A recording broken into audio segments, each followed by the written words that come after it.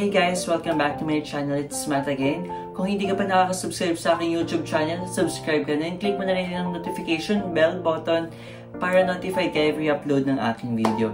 So, for today's video guys, gagawa ko ng Shopee haul since it's a day of 12-12 big Christmas sales sa Shopee ay nag-decide ako for myself na bumili ng mga kung ano-ano sa Shopee wala lang, mga random stuff lang na naisipan kong bilhin. At yun nga, isi-share ko sa inyo guys kung ano yung mga napamili ko. By the way, this video is not a sponsored video of Shopee. And ginastos ko siya with my own money. So without further ado, let's get Guys, yung mga pinamili ko, guys, sobrang random lang. Hindi ko alam kung bet nyo, kung gusto nyo, kung pasok sa standard nyo. Pero sa akin kasi is, I decided na kung ano lang yung makita ko sa top list ni Shopee, yun yung gusto kong bilhin. And also guys, perfect din siya pang regalo since darating ng Pasko at kung gusto nyo makamura, mag-Shopee na kayo. Kung gusto nyo hindi kayo mahassle, mahirapan bumili pang Christmas gift, pang Chris Kringle, sa Shopee meron naman na since it's a day of 12-12 big Christmas sale sa Shopee. Yung una kong pinamili guys is ang una kong binili guys dito. So guys, ito yung unang nabuksan ko, na in-order ko. And let's see kung ano nga ba ito.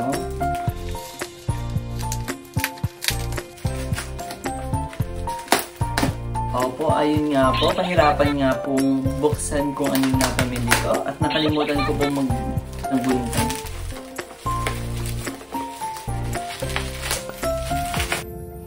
So, ito nga po yung una kong in-order sa Shopee. Yung selfie ring light. At since wala, ko, wala akong malaking ring light, magmi-mini ring light muna ako. Ito yung binili ko. Yung price nito is walang nakalagay. 79 or 68 pesos. Hindi ko na maalala kung ano yung price nito kasi walang nakalagay sa information, guys. So, ito yung una kong binuksan. So, bubuksan ko na rin siya kung ayos ba siya. Ito siya, guys. Pero hindi siya bumubukas, guys. Hindi ko, hindi ko alam kung sira ba siya or walang battery. Pero ito siya. Ganito lang siya. Plain white na ring light. It comes with charger na rin or yung USB cable type C. Then, the next one na in-order ko sa Shopee is yung Kabuki brush set. 10 pieces siya guys. Ito siya. Ito yung in-order ko guys. I think around 98 pesos na lang itong in-order ko. And 10 pieces to guys. Sobrang worth it sobrang worth it na itong bilhin kasi yung brush niya is malambot na rin pag ginamit. Ayan. Malambot siya. Then, may 5 pieces na ganitong size na brush. So, worth it na siya guys na pang regalo this Christmas. Kung may mga pang kung may mga pang regalo niyo sa girlfriend niyo guys, perfecto. Next naman na binili ko is yung tripod ulit na same lang din sa previous video ko nung nag-divisoria ako. And bumili ulit ako kasi for secondary use just in case na masira yung unang tripod na binili ko, bumili ulit ako. And mura na lang siya, mga around 100 na lang to kasi yung una kong bili sa back ay, kasi yung una kong bili sa Divisoria is 198. So, yun na, ginrab ko na yung opportunity na to na bumili ulit na ito. Ayan, bumili ulit ako nito. 100 na lang.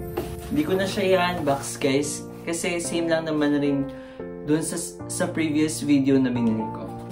Guys, the last thing that I... ay, di pa pala last. Meron pa pala. Then, second, ay, pang ilan na ba? Ito, pang apat na binili ko guys. Um, organizer or makeup kit ba to? Sa Shopee. 35 pesos lang to guys. Sobrang worth it niya. And may bakal siya dito sa gitna. Maganda na rin siya guys. Perfect na pang regalo din this Christmas. At hindi ka, hindi ka na mamamahalan. Yung color na binili ko is navy blue, which is my favorite color. Mukha naman siyang matibay guys, and sobrang compact niya pag binuk sobrang compact niya guys pag binuksan. Kasi, ayan, malaki naman, malaki siya guys. So, marami kang malalagay sa loob. Mga necessities mo, mga shampoo, makeup. Pero ako ilalagay ko dito is mga makeup kit. Or makeup brushes. Ito, brushes, mga ilalagay ko dito. Sobrang, sobrang worthy nito guys. Pang regalo. Pwedeng bumili ka na nitong wholesale guys.